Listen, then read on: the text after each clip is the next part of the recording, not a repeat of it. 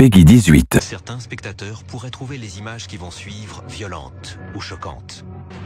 Vous voilà prévenu.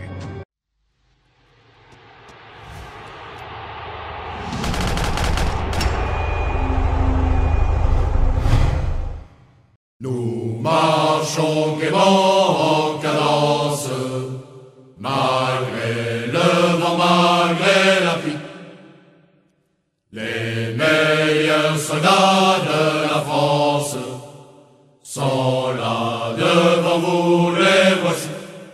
Coucou tout le monde, j'espère que vous allez bien. Nous voilà pour la troisième bataille sur Verdun. Donc j'espère tout simplement que cette fois-ci ça va être totalement différent. Donc vous allez vous en rendre compte par vous-même. Ce que je vous avais expliqué, c'est que l'épisode 3 sera largement euh, meilleur au niveau des performances. Tout simplement, c'est que j'ai eu un coup de chance dans cette partie-là, vous allez vous apercevoir par vous-même, donc du coup, je suis vraiment satisfait de vous proposer ce gameplay. Donc là, j'ai pris la classe du grenadier, qui est vraiment un peu intéressante, parce qu'elle dispose de deux grenades, sachant que les autres classes ne disposent pas, on va dire, de grenades, je sais pas comment ça se fait. Chaque classe est bien évidemment euh, spécifique par rapport à ce que vous allez euh, en faire, hein, parce que de toute façon, vous avez pas mal, vous avez quatre classes, donc après, je les ai pas tous non plus étudiés.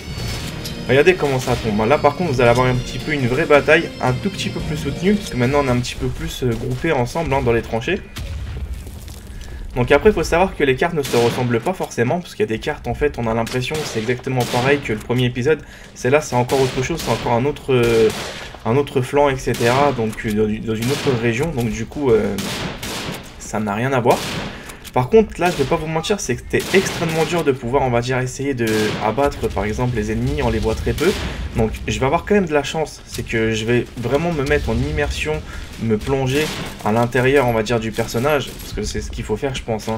C'est non plus ne pas le considérer vraiment comme un FPS euh, à part entière, mais dans un mode bien spécifique. Parce que vous voyez bien comment c'est extrêmement dur de bien les viser, les personnes. Donc euh, parfois je vais avoir de la chance, parfois je vais louper mes tirs. Regardez combien de temps je mets pour pouvoir verrouiller un individu? Faut savoir que là j'étais sur euh, la manette, hein, donc c'est beaucoup plus sensible au niveau de, bah, de la stabilité. Donc là malheureusement si j'aurais été pour de vrai, j'aurais même pu pouvoir poursuivre ce gameplay là parce que je suis mort tout de suite. Hein. Donc on n'a pas forcément beaucoup de chance, hein. des fois dès qu'on arrive dans un jeu on ne connaît pas forcément. Les joueurs sont un petit peu plus habiles que vous en fait, donc après c'est juste une question de perfectionnement. C'est ce que je me dis en fait. Hein. C'est pour ça que je le prends pas forcément, on va dire, d'un côté négatif. Hein. Ça fait partie du jeu. À part, ça fait deux fois. Et en même temps, j'avais tout simplement ma grenade dans les mains. J'aurais pu exploser mes coéquipiers. Heureusement que le tir euh, allié n'est pas activé. Donc là, je suis en train de désespérer. Je me dis, mais attends, est-ce que j'arriverai franchement à leur sortir quelque chose de vraiment sympa? Ou peut-être pas. Hein. Ça se peut en fait que tout simplement que je partais avec quelque chose euh, de négatif. Donc vous voyez comment mes coéquipiers jouent. Ils ne bougent pas plus que ça. Tout simplement, c'est qu'ils attendent de voir l'ennemi un petit peu montrer leur, euh, tête et, leur déplacement pour pouvoir mieux les attaquer. Moi, je vais essayer de faire pareil, je veux pas me gêner. Hein. Donc maintenant, c'est là que ça va devenir très intéressant. Alors, j'ai fait un kill, suivi du deuxième, puis un troisième. Je suis super content, trois kills d'un coup, euh, franchement, faut le faire. Je jette une grenade, elle rebondit un petit peu mal. Donc là, je suis vraiment pas habile avec le pistolet, regardez. Sinon, j'aurais fait un quatrième kill. Tout simplement, regardez bien, c'était franchement pas mal le petit enchaînement. Et encore, des conneries, j'en ai quand même 5. Sauf que des fois, en fait, c'est tellement petit, en fait, c'est qu'on voit pas vraiment euh, bah, au niveau de... Comment vous expliquer ça? Bah, C'est tellement petit, en fait, les kills, c'est vraiment... Faut, faut avoir un, grand écran, limite, pour mieux voir l'ennemi, quoi.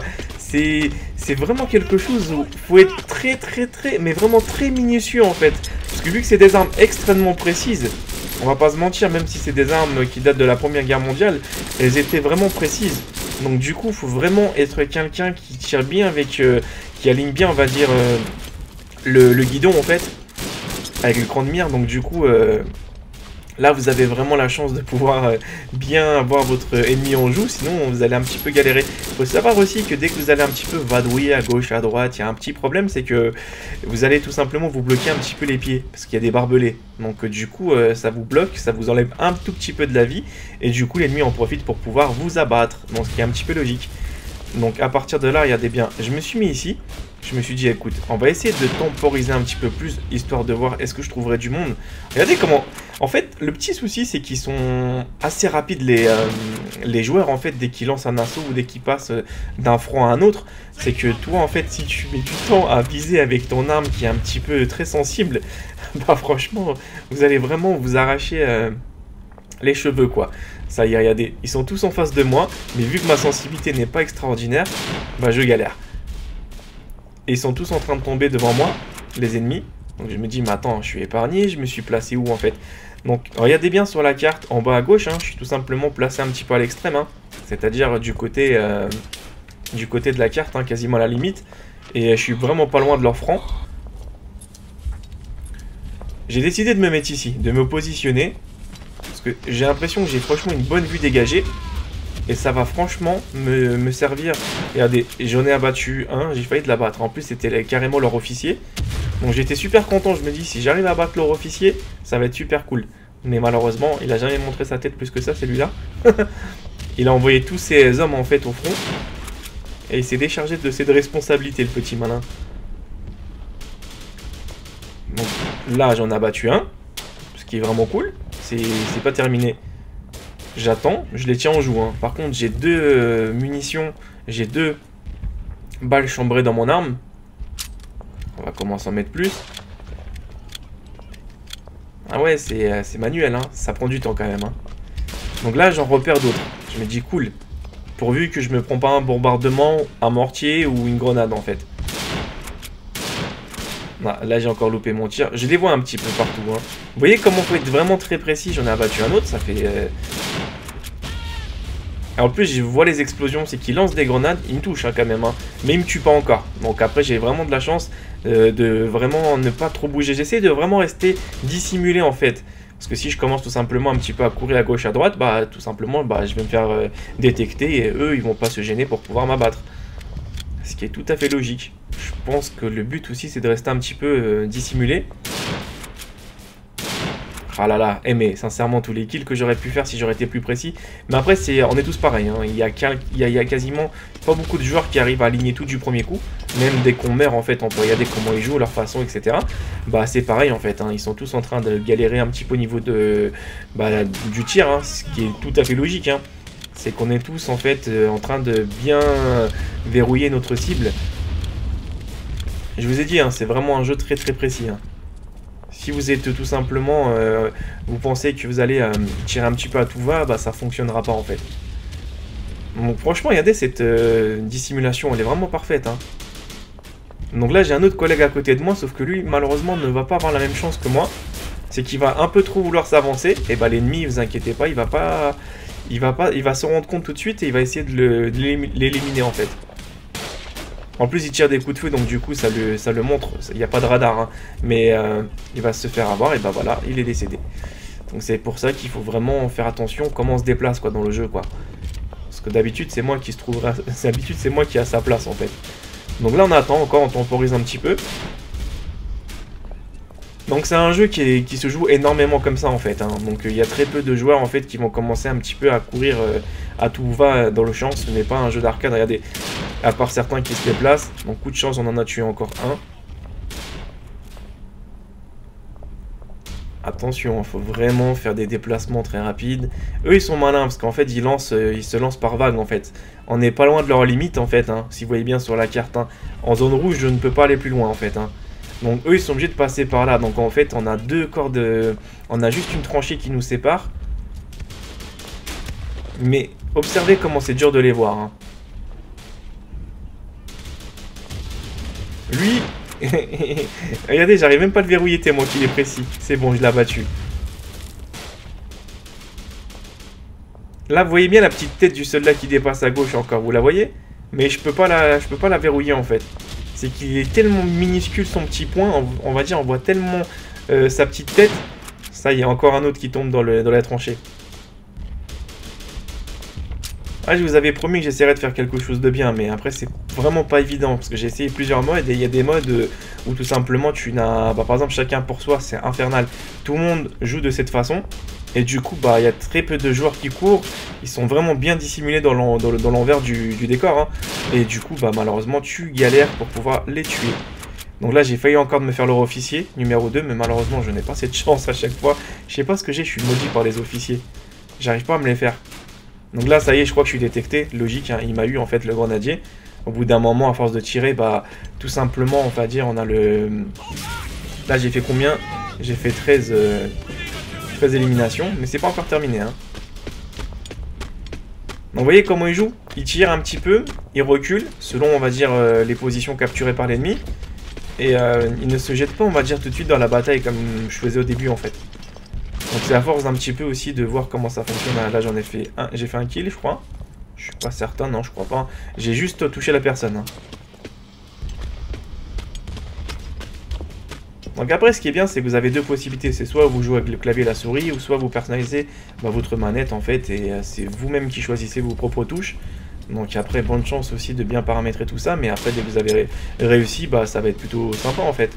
Donc c'est... Euh, il y aura pas mal d'options par rapport à ça. Regardez comment c'est pas évident de savoir où est-ce qu'ils sont. Donc là, ils arrivent, mais il faut vraiment avoir un super shoot, en fait. Hein. Alors j'imagine pas comment... Bah là, je dirais que la Première Guerre mondiale, ça a été sincèrement une énorme boucherie. Mais les armes de l'époque permettaient pas non plus de faire un énorme carnage, même si elles en ont fait, hein, bien évidemment. Il suffit de voir la Deuxième Guerre mondiale, comment là, c'était n'importe quoi. C'est que t'avais quasiment aucune chance de passer, par exemple, sur des lignes où les mecs, ils étaient équipés de la MG42 ou d'autres armes euh, lourdes, même très lourdes.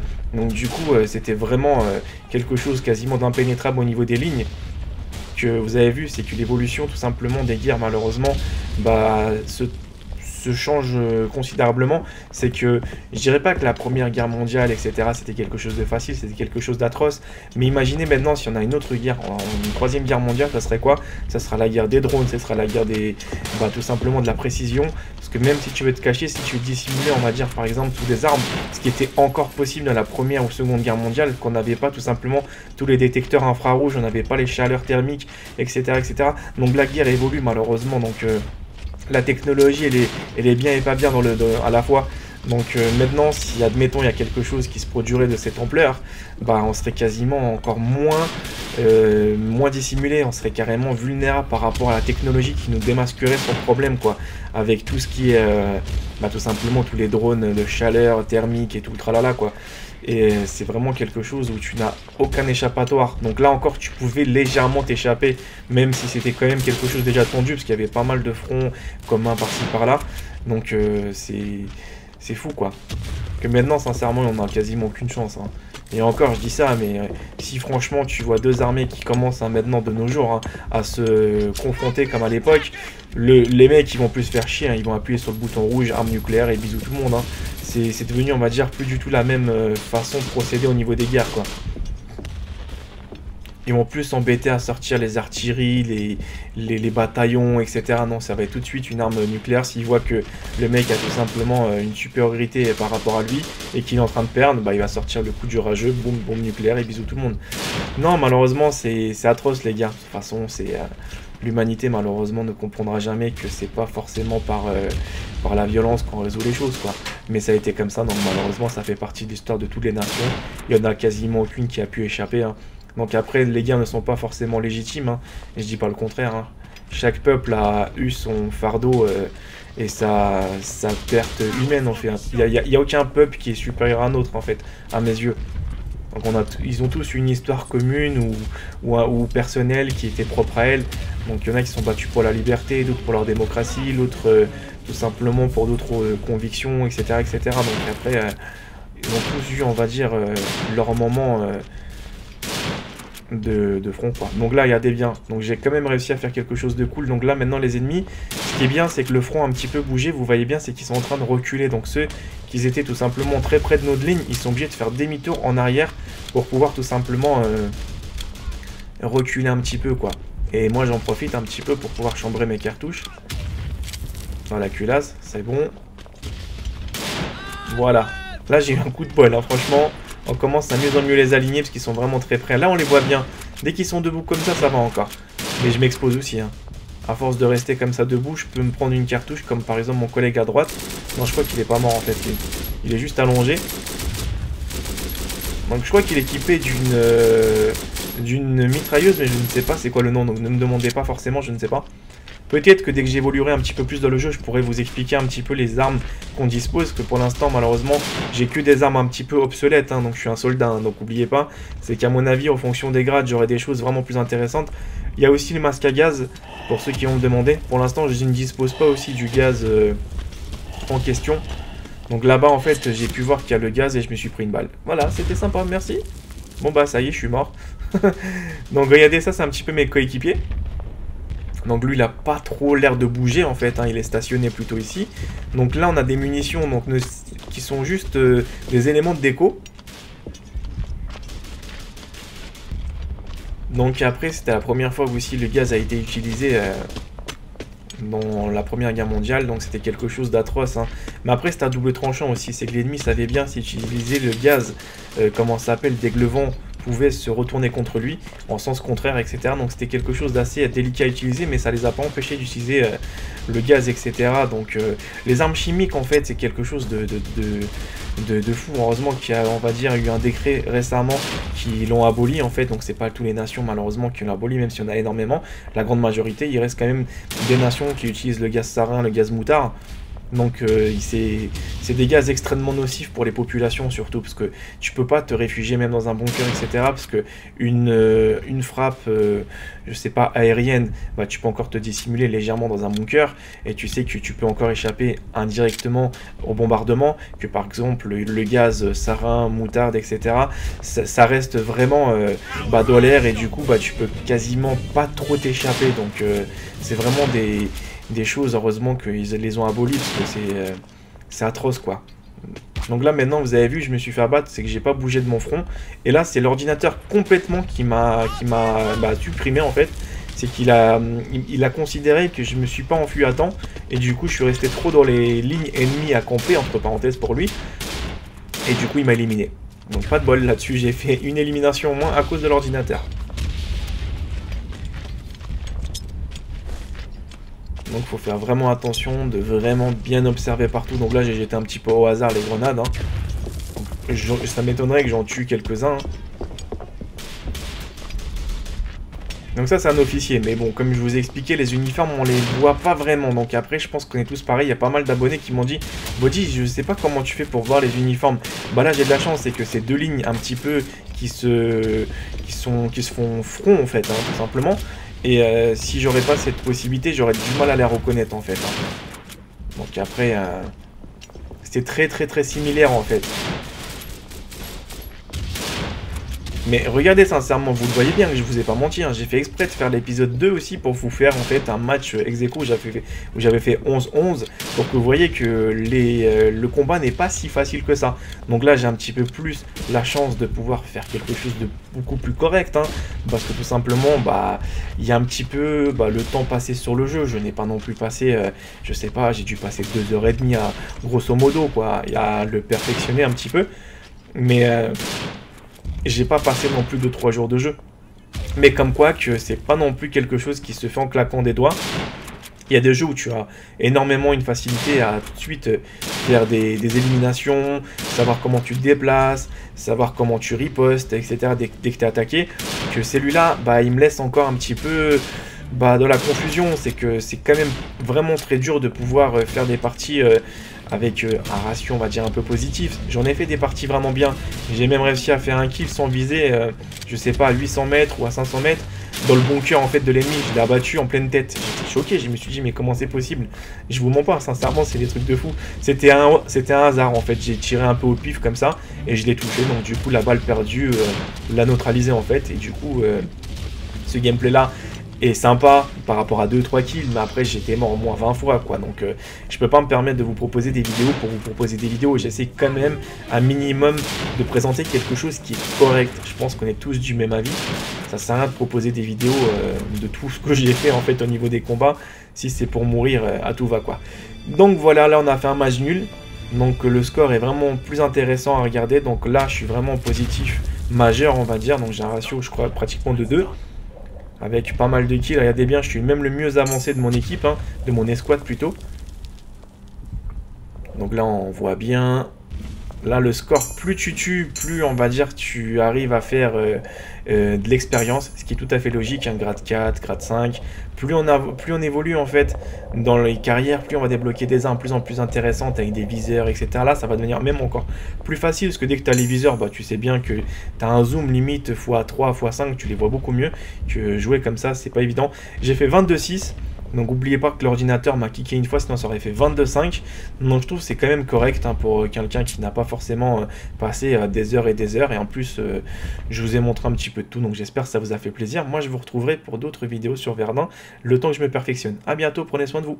Voilà les amis, cette vidéo est terminée, j'espère qu'elle vous a fait plaisir. En tout cas, je vous remercie d'avoir suivi l'épisode jusqu'au bout. Merci pour votre fidélité. Et pour les simples visiteurs qui ont découvert ma chaîne YouTube, n'hésitez pas à vous abonner si bien sûr vous le souhaitez. Ça vous permettra d'avoir pas mal de vidéos qui vont arriver très prochainement sur pas mal de jeux différents.